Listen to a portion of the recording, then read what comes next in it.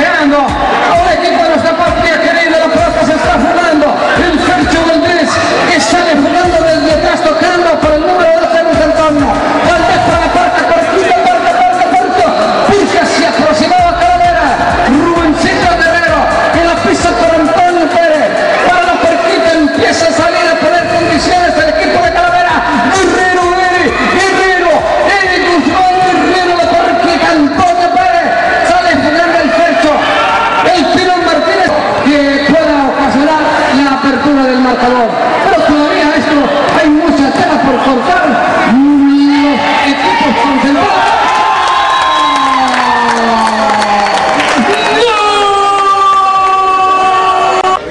La pelota está en el fondo, el gol del Pirus Martínez, ex de Teco.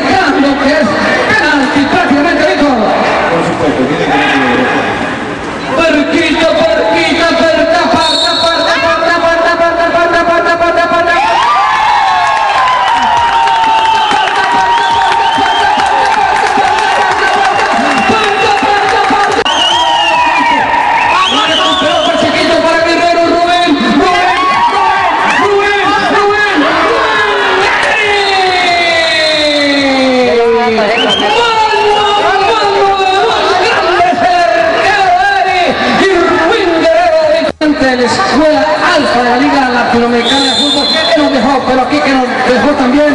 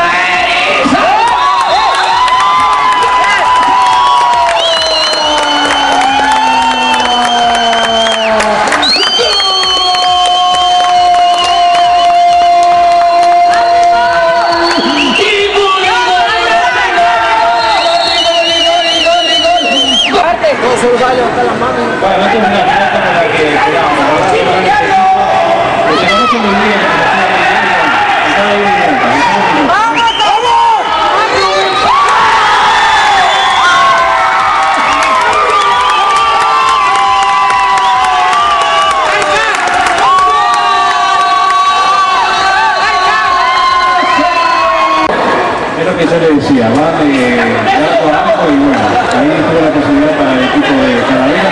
Bueno, no creo que